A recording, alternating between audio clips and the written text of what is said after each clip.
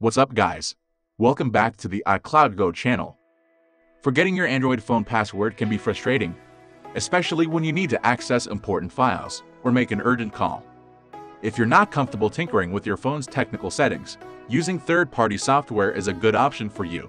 One such software is TenorShare 4uKey for Android. It's a user-friendly tool that can unlock any Android device in just a few clicks.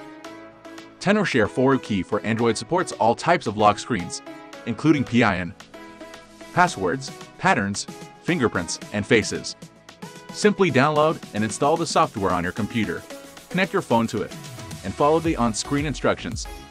Here, we select Remove Screen Lock from Interface. Click here. Press the Start button.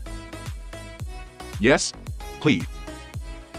Then follow the steps outlined below to start the recovery process. For phone without home button, long press the power and the volume down buttons to power off the device. Then press and hold the power and the volume up buttons at the same time.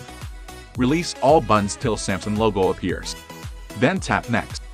You can follow the instructions to remove the screen password. Use the volume buttons to navigate to wipe data factory reset. And press the power button to confirm. Then selecting the wipe cache partition. Click Yes to confirm. Select the option Reboot System Now and click the power button to confirm.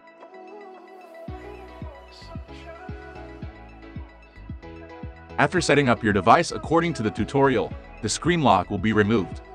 That's all for today. Thanks for watching. For more tips like this, subscribe to the iCloud Go channel. Or click another video to keep watching now. See you next time.